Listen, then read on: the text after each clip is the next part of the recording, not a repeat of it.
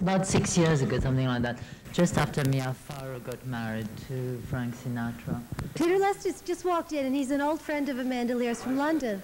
I'm here as the president of the Amanda Lear fan club. Uh, I and thought- if I beyond.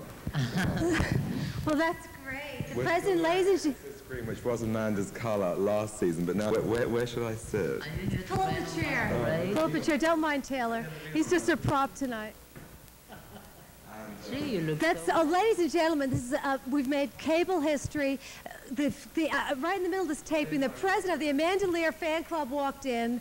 Uh, this is, I just can't believe it. I, this is a phenomenal moment. It's like the Lindbergh disaster, the Lindenberg disaster, whatever that How name of that been? blimp was. Oh, darling. Fine. How You look been? incredible. Why don't you take your clothes off, Peter? No, no, no, no, this, Um, wait. this is a clean show. Oh, Taylor, can't wait until you take your clothes off. Oh, well, I don't know about that.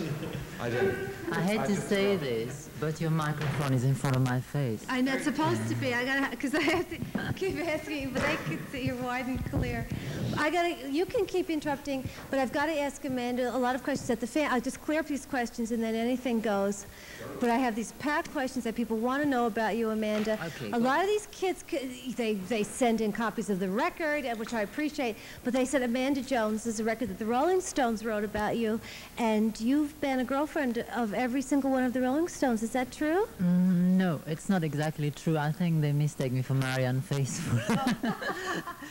I think Marianne did make a statement once in a moment of weakness that she had been the girlfriend of every one of the Stones, but uh, I never said anything like it, and I have never been the girlfriend of the Rolling Stones. Well, you were a Brian Jones' girlfriend. Yes, but I mean, that's No, only wait, one. May I interrupt the, wait, No, the there's pre- a the story president- involved the here. this You said, you said, all. she, so she thinks she made a big deal by, s- by telling the press she had one of them. Well, I could tell them that I had all of them. I remember that. Marion Faithfull here on our right. I think you were thinking of another It group. is the I'm losing faith, Are faith in you you, calling me a groupie? My hair's so Am I calling you a groupie? No, of course not. But it's Amanda Jones was written about you, wasn't it, Amanda? That Rolling I don't know song? because Brian was called Brian Jones and I was called Amanda, so they did this song called Amanda Jones, and which is a put down. I don't know if it was written about. Oh, it's a put down because they say around and around and around she goes and down and down and and down she goes. That's a bit. That's a put down. Well, Maybe it's a put up. maybe it's a put up. I don't know. no, the, the song I like very much that they wrote is actually Ruby Tuesday. That is Oh. possibly the one I would identify more. Oh, uh, and I've, and they all and all the kids think that it's Amanda Jones. Who's Amanda Jones? No, they thought Amanda J- Jones was written about Anyway, Amanda that's because she had an affair a with. long time ago. Yeah, What's Amanda Jones? but it's an affair with Brian Jones is something people don't forget. No, I could never C- forget. What was what was Brian like? Brian Uh, Jones. Brian was Jones. Did you know him, Peter? nice. Was he very nice? Yes. Very nice. I, I, I hate talking about Brian. It really brings me down. No, but I know. Yeah, you look it. You look really brought Brian down. Ferry, I'll talk about. No, because you know, Let's talk about Bryan Ferry.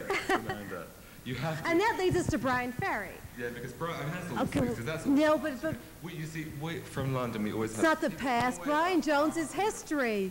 Yeah, um, he, he should stay that way. You know, you're going to be secretary of that fan club by the time you get through here.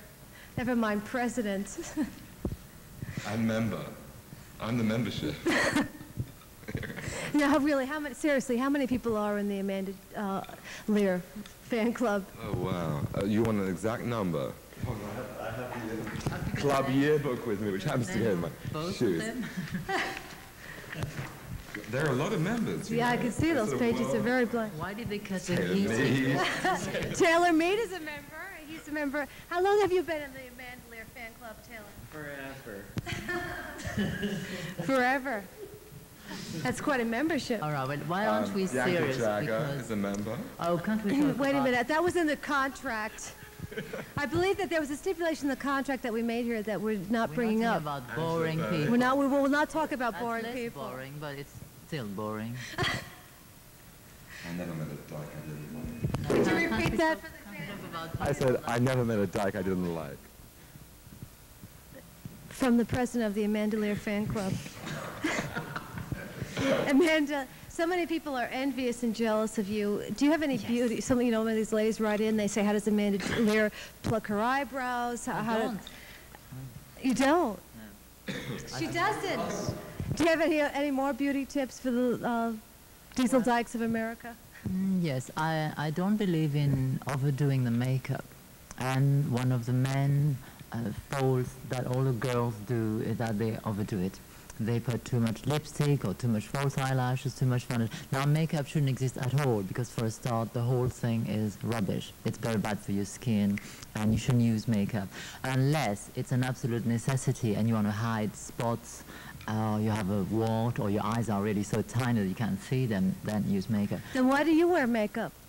Well, I wear makeup. I mean, here I am uh, to quote, Candy, to quote Candy Darling. I'm sitting here. She's got 10 pair, 10 layers of pancake. I could scratch my initials in her forehead, and she's telling me that you shouldn't wear makeup. You dropped your And nose. I dropped my unemployment card. I would teach you to be nasty. All right, well, I am not wearing pancake. No, but seriously, I'll but I carve my initials, spot. right? I have a spot here, see, and I have a spot here, and it's Oh. all his fault because they gave a party for me when I arrived. Oh, I and, thought he uh, beat you up. And I am not used to drinking. and I woke up with spots. Oh, some we have some more fans here. Hey, baby. With a Red here? Riding Hood. My beauty. Hello. How How are you? Richard Bernstein, Peter Uh, Left. you left a shoe here, yeah. shoe here last I night. know. I, Is I that- knew I left part of the costume. That's the where I was Manolo original. Whose shoe is this?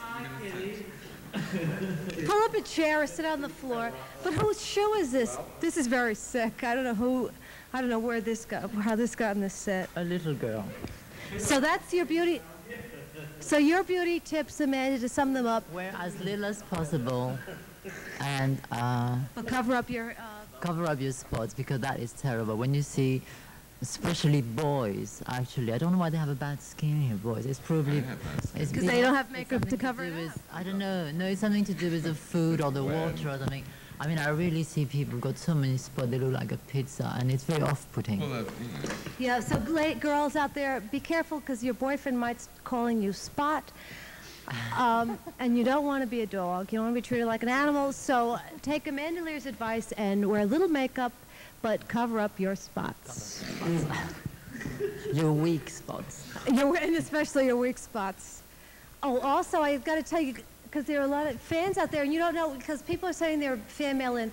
You can, se- you can send your fan mail to Sterling or, or uh, Channel C or Channel 10, but you can also send your fan mail and your checks. We prefer cash, but don't send me cash because I don't know who's going to open the mail.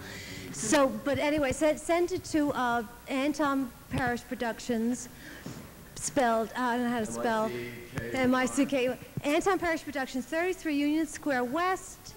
What's the zip code? 10003. I used to work here. 10003. Anton Perich Productions, 33 Union Square West, New York, New York. Zip 10003, and keep those checks coming in. We've how much money have we accumulated so far tonight in the, on this telethon? and listen, Nassau County, listen. One tailor made. Tailor made send. I mean, Na- Nassau County. What's going on? Last year you donated All our fifty thousand cosmetic dollars. adverts for the month. I mean, please, and please, the lip gloss. We have enough lip gloss to keep us in stock for another 10 years. tapes at the A&E. One day, if I die, I'll die of an OD of lip gloss, I think. So you do, so, uh, oh, you also recommend lip gloss. Love lip gloss. Okay, well, we'll give you the lip gloss, but really, we, we need cash for this telethon, for the tailor-made uh, look-alike telethon. So please, I mean, Nassau County, I mean, we have no response from them today. Last year, they gave us $2 million. I mean, these people are expensive. Tell us about Myron. What's Myron about? You were reading Myron in the hotel. Oh, Amanda, what are your, f- any, read any good books lately? That's a scar. That's a corny approach. Well, oh, yeah, and we, that'll lead into your comic strip, because I hear you're in a comic Uh, strip. Now, have I read any nice books lately? Yes, I read Gore Vidal's Myron, and I read. Uh, I know I reread all my Oscar Wilde. I reread a You like- wonderful book by Michael Bulgakov called um, Mar- uh, The Master and Margarita, which is an incredible book. Have you read The Master and Margarita? No, and This is a book.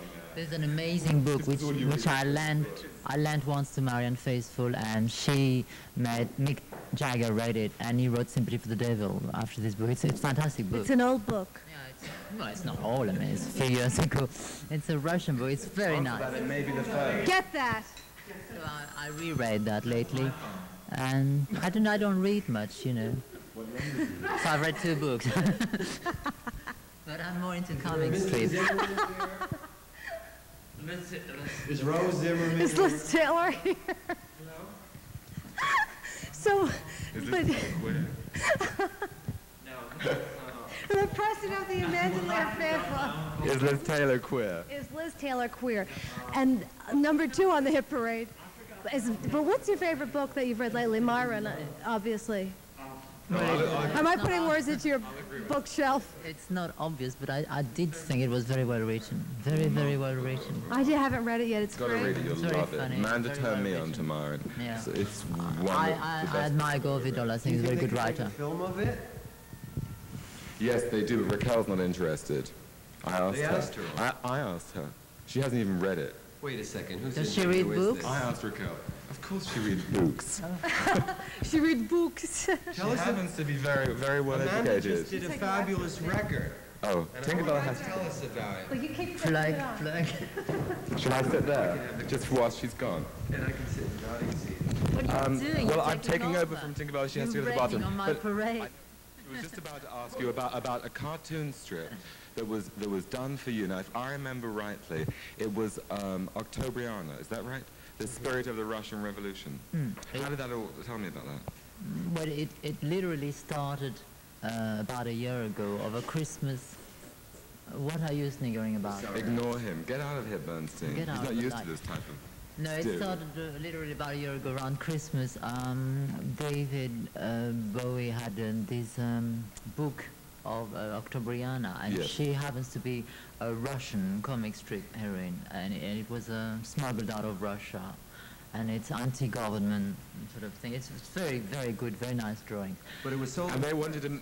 And they wanted to make this into a And movie. uh, you know, uh, he said, "Why don't we do a TV series out of this?" You know, David and I said, well, of the that Skull crazy." Sort of Wonder And then we type, thought, isn't she? exactly. And then we thought about it, and we said, "Yeah, absolutely right."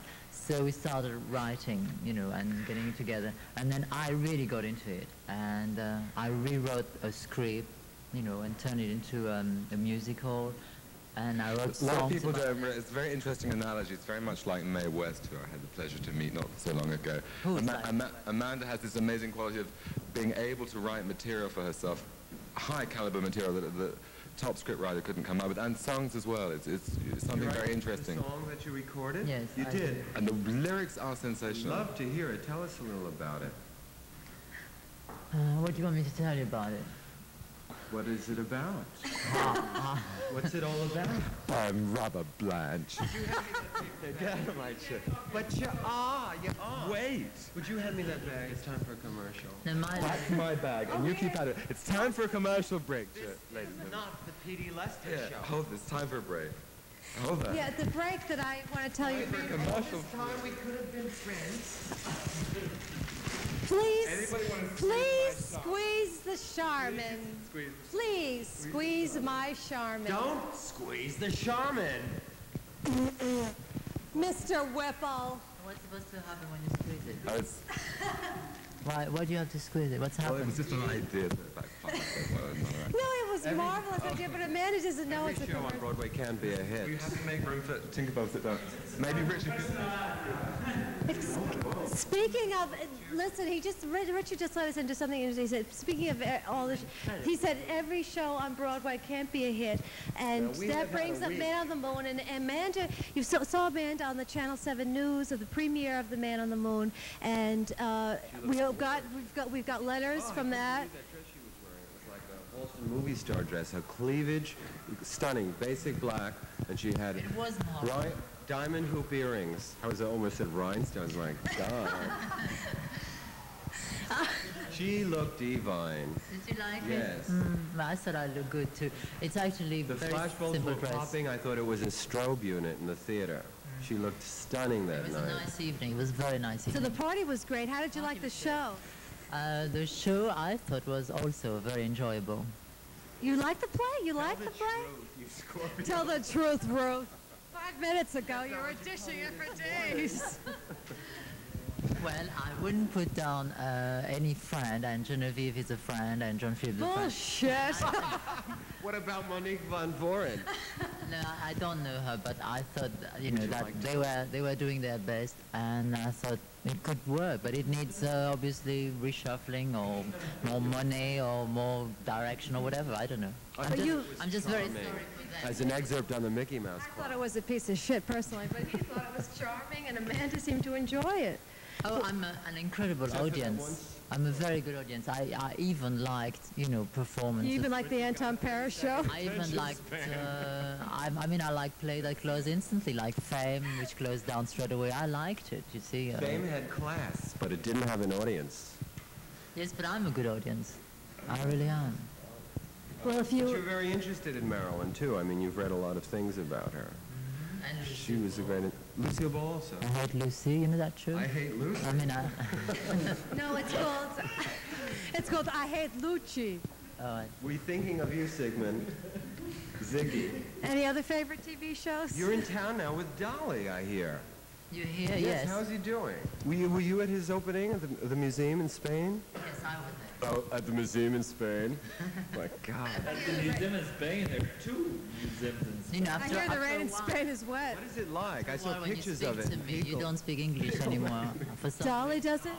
No, no. Well, it's the same with me, yeah. But but I see Richard the same phenomenon happen. After talking to me for a bit, he starts getting his English all wrong, and you don't understand what he's saying. Why is that? Maybe Dutch? he's catching. Irish This is true. I said I saw French. pictures in Pickle magazine. Pickle Magazine. Pickle Magazine. To all the sub- subscribers of Pickle Magazine, No, but anyway, yes, I, Dali's in town. Yes, Dali's in town, say and I'm in Dali. town. say hello. I, uh, it's pointless. We already sang hello, Dolly, on this show. it's pointless saying hello. He doesn't get cable TV. Is it true they're writing a But musical based on his life called Sally? Sally, what? Sally, what's her name? I'll never forget Sally. What's her name? Sally Dally. Silly. Dilly dilly. You dilly dilly. Silly Billy, Sally, Sally. Are you How- Frank? Not yet. No, this is the. Are you is- kidding? This Are you three trying to make me look like a fool? No, this is, this is the way their show goes. They always get into this zany I trip and see. everyone sort of... All right, all right, go on. Richard, I'm Oh, just the- not used to Oh, yeah. She's used, Amanda's used to NBC. I'm just not Yeah. used to this sort of who's the one I saw last night? I saw a chat show on television last night. Apparently it's on every night. This Joe guy- Franklin. Joe Franklin, who I hated. And Cherry Vanilla was on there. I've never liked her Oh, she was very good. And She's very she was Cherry. brilliant. Abs- I've never seen her perform before. I never liked her particularly. But she was remarkable. She was, she was, She was. take off your clothes now. Blow it. Take that. she was very good. Yeah, Amanda saw that show last night too, and I, so I can't believe it, you know, because No, it was because last night was um, a birthday party of a friend of ours called Paul Jabara. And uh, there was this party for him, and then the party wasn't sort of picking up. You know, there was Monique Van Vooren was there, and, and Sylvia Miles was there, and uh, what's her name, von Pat Astor. Furstenberg, Sylvia. and Pat. I mean, all those people were there, but it wasn't Hi, Sil. happening. So I went next room and I watched TV, and Cherry Vanilla was on, and I screamed, "Cherry Vanilla's on!" Everybody comes. Everybody came and actually watched TV, which wasn't very nice for Paul Jabara because it was his birthday Yeah. party. No, it was But I okay. think At the he ca- he end, came it as well. became the, it Came was uh-huh. the most wonderful Came as well. party in the end. It was one of the best part, the in the best party end, I've I know, because you, you haven't gotten up yet today. Until today. five o'clock this morning at that party. I was having so much fun. Oh, I was Five having so much days, Yes. fun. and you've been to all these marvelous parties and social events. You've been on television, had your picture in women's wear. I think it's fantastic. Yes, it's, it's nice, I I isn't think it? it's very promising. Do you think I should maybe stay? Well, no, this isn't new for Amanda. absolutely. You have to. This isn't. This isn't new for Amanda. Well, you had a card reading. I don't know. I'm, I, New You York had a for me card reading the other day, didn't you? Frederick yes. Davis. You were telling me about. it. What did he say? Fantastic. She went to see Frederick Davis. Um, He's the yes, reader to the he used to read. He used to read my cards You in read London. The stars like I Is read to the Haywoods. No, it's really good. He's called Frederick Davis, and he's really good. He does the tarot, you know. Is that Frederick of Hollywood? No, no, that that's my Frederick of shoes. That's Is. Frederick Davis anything like, so he's a very, stockings. Aren't they beautiful? Pink. Oh my God, they're anklets. My God. so Frederick, Give me Da- back that Juraskin windbreaker with the splash mink collar and back to Paul Jabara. The cameraman's gone. Anton, is it, uh, we're taping, aren't we? Of course. Um, He just sent Manny out for an ounce of grass. Ask you, you going to sing? Oh, don't start playing, Matthew. Oh no, if he plays 16 millimeter baby again. Oh, you can say one song. Oh, sing us a song, Matthew. Well, Matthew's going to sing us one song. A Song from Man on the Moon. song is, this is a song dedicated to, To Man on the Moon. To Man on the Moon. uh, to uh, everybody. Okay. Don't make me cry. Just don't make us cry. It's a song dedicated to Charlotte. Fabulous.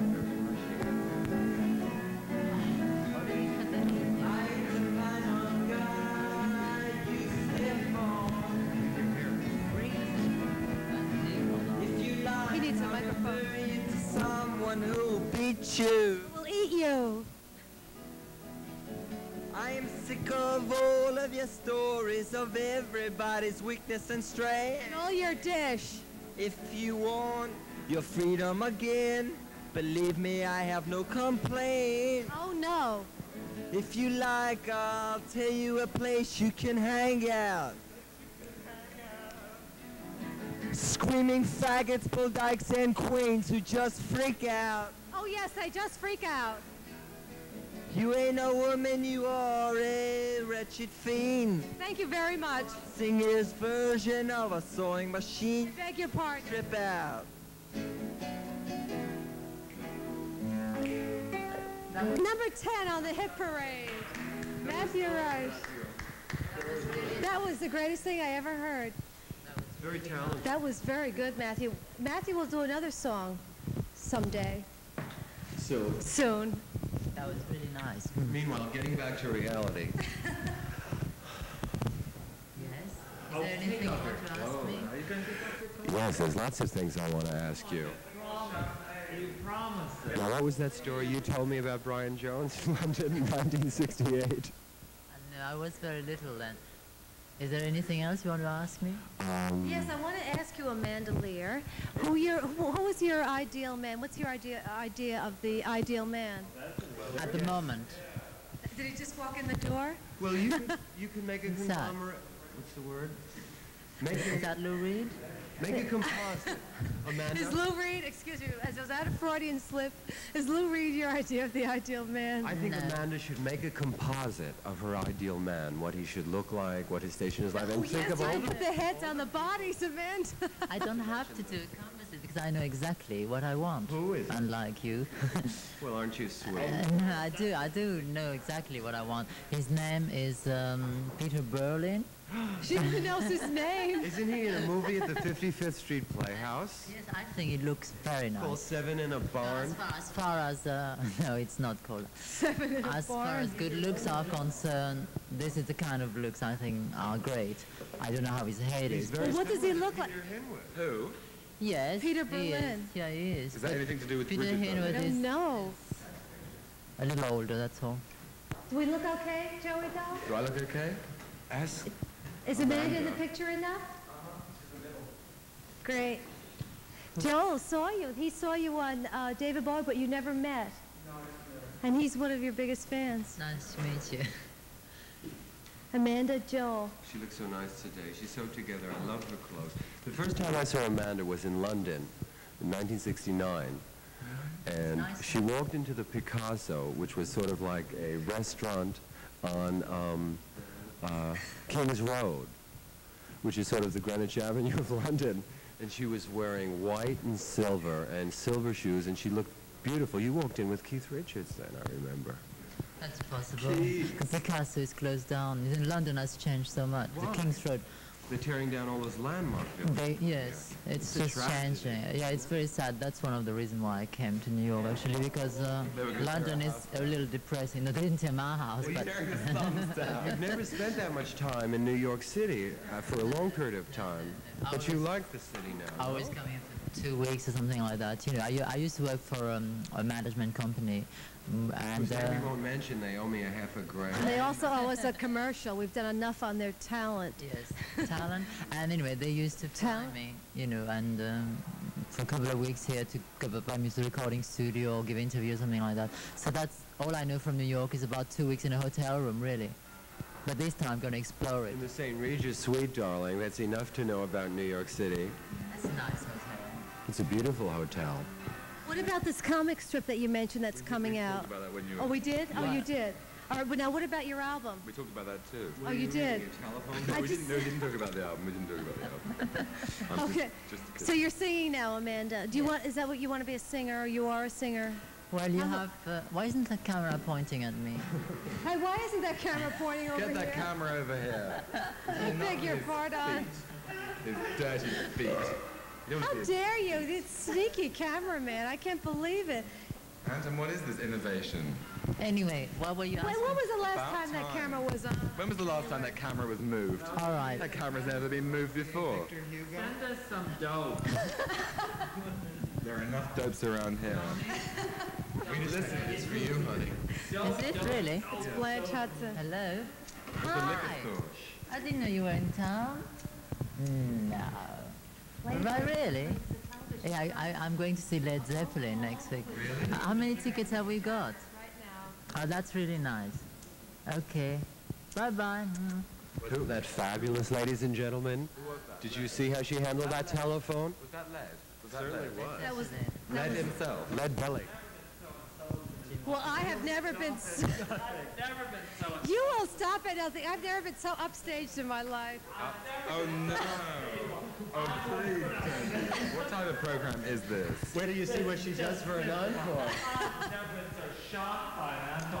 I've never been so shocked by an Anton Perich show in my life. Bring on the goddamn cat. Filmmaker and to be outlawed. I'm calling the federal Suddenly they're going to cut this out of the program. Um, Amanda, what do you think of this? You believe? I'm so embarrassed. Even! I think that was a see commercial. Is that one of our sponsors? Did you see Taylor's? Taylor, we missed your meat. It's actually quite big. It's sold as well. She's a little under the Was weather. that an optical illusion? Look at Taylor's meat.